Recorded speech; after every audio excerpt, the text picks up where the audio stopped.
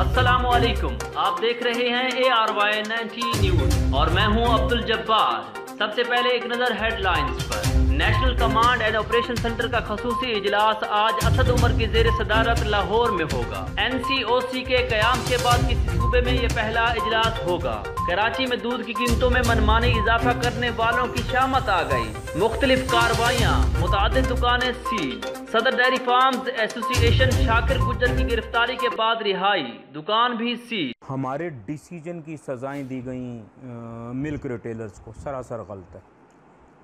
ان کی دکانیں سیل کی گئیں، سراسر غلط ہے۔ اور میں اپنے ریٹیلر بھائیوں کو بھی بتا دوں ہم آپ کے ساتھ برابر کے شریک ہیں تمام چیزوں میں۔ انشاءاللہ تعالیٰ آپ ہم سے بات کریں اور اللہ نے چاہا ہم آپ کا ساتھ دیں گے۔ تو میں آپ کو بتا دوں کمشنر صاحب دودھ کا ریٹ واپس نہیں لیں گے نہیں لیں گے نہیں لیں گے۔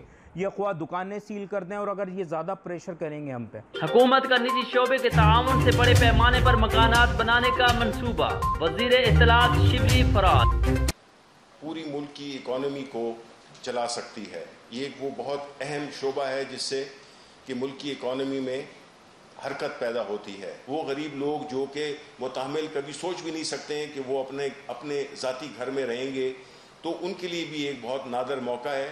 تو جو اسٹیٹ بینک ہے، ایف بی آر ہے یہ بالکل فیسلٹی بھارتی فوج کی کنٹرول لائن پر سیز فائر کی خلاف ورزیاں۔